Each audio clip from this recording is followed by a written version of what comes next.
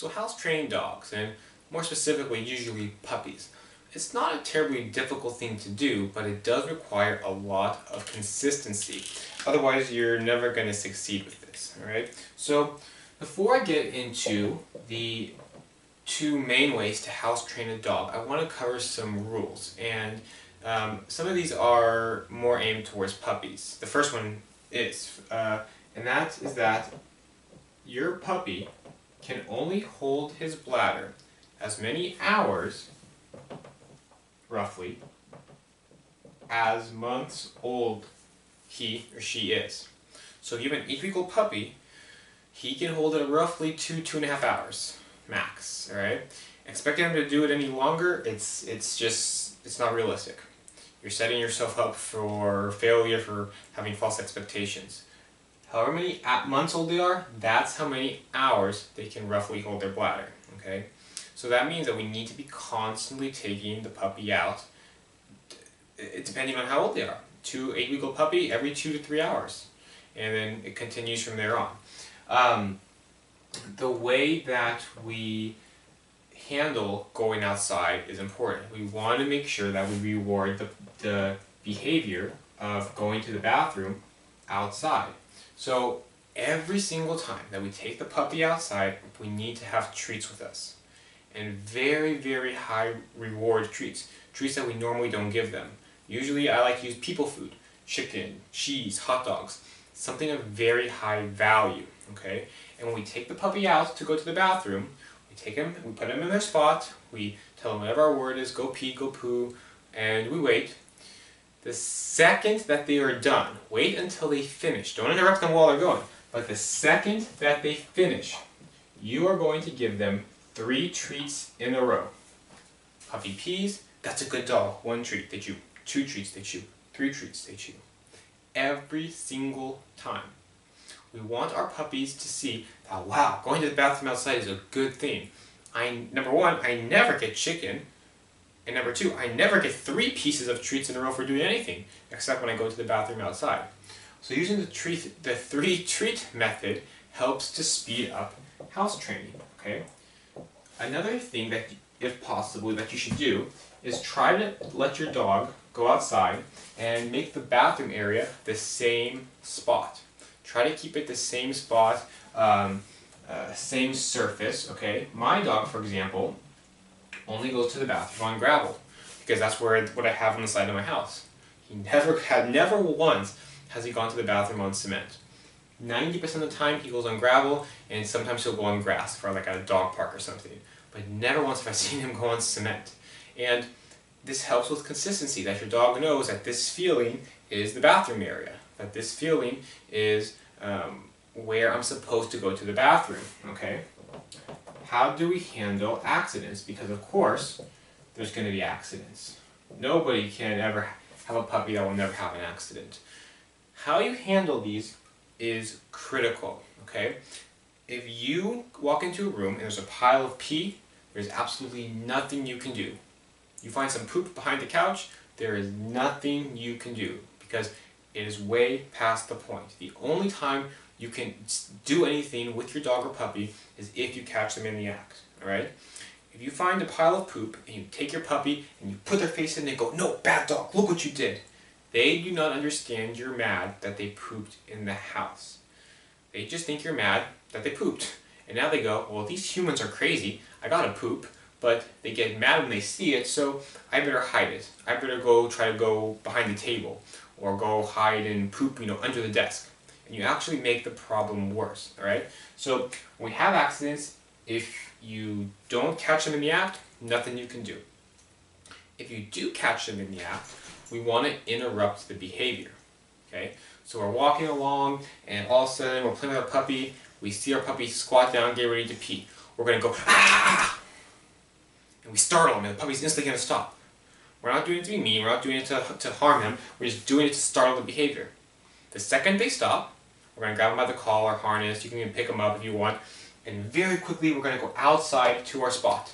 We put them down, and then we're gonna give them some time. Right? I usually go for about, uh, give, them, give them about five minutes just to really see if they have to go, right?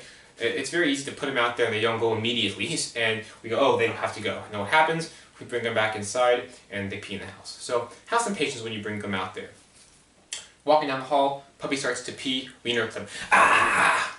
Because we caught him in the act.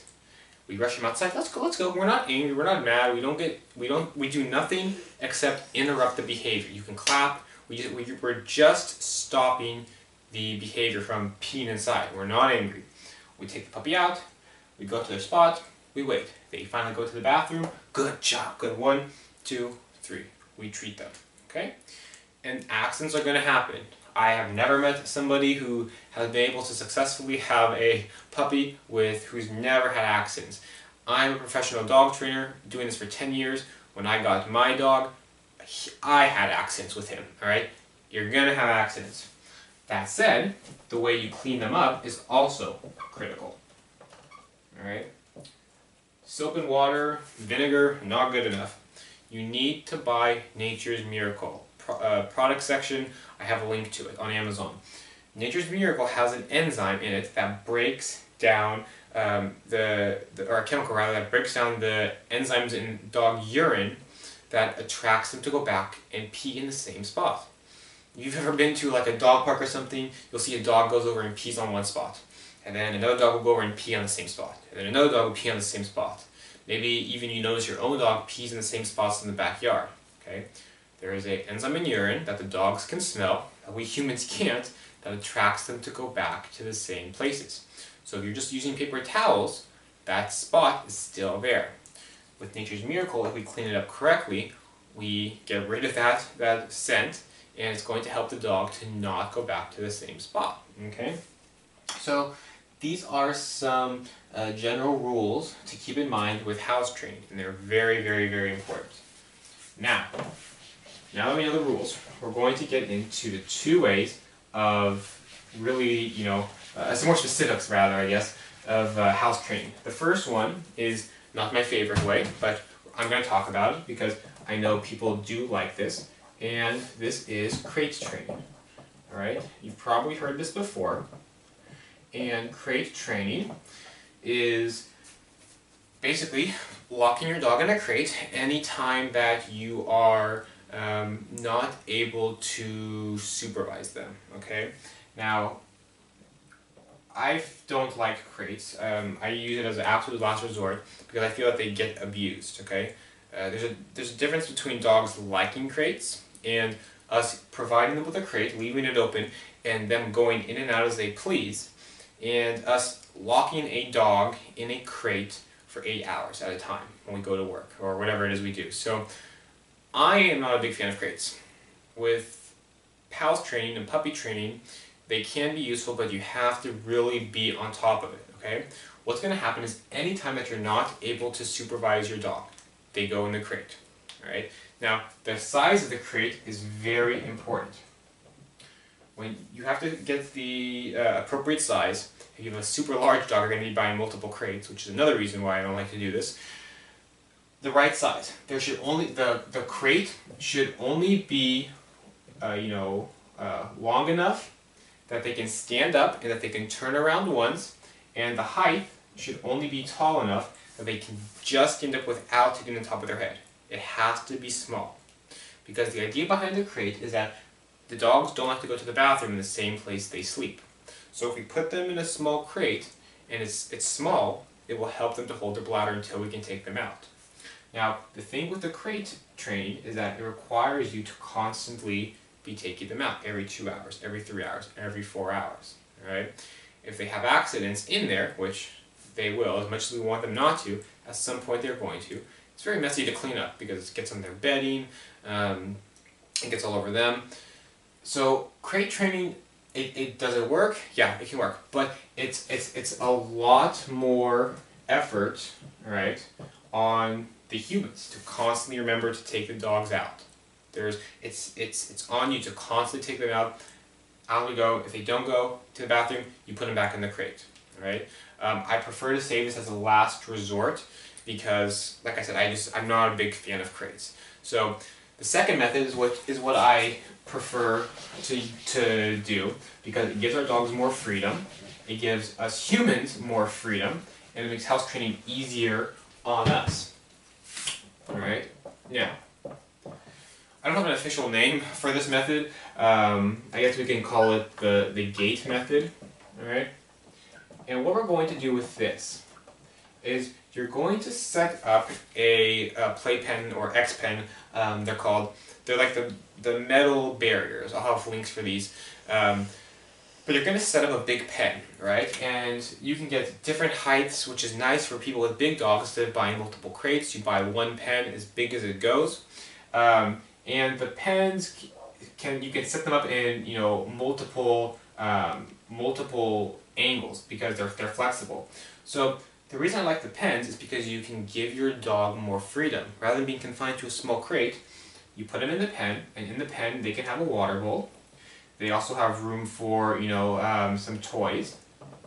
All right. The important part is they have room for a pee pad. Now, the pee pads are very useful, okay? So our little water up here. The pee pads are very useful because this allows us to leave the puppy in his in his camp in his uh, um, gate, his pen, and he has an option to go to the bathroom on the pee pads. When you first start off, you put multiple pee pads. You put one there, you put one here, you put lots of them. You put six in his little pen and he starts peeing on them. They're scented to attract him to go on it. And the times that you can take him out to go to the bathroom, great. We take him out to go as much as we can. The times that we have to leave for four hours or five hours, we don't have to sweat it because we know he's got his pee pads to pee on. He's got all this room. He's got access to water, to toys. His little bed is over here, right? He, we don't have to worry about him being stuck in a crate. Now, do we, does he use the pee pads forever? Absolutely not we start off with all six of these pee pads. And what we start doing is we start weaning them away. So we start off with a lot of them, and then after maybe two weeks, we pick one up. And now we only leave five pee pads down. And after another week, we start picking another one up. And now we're down to four.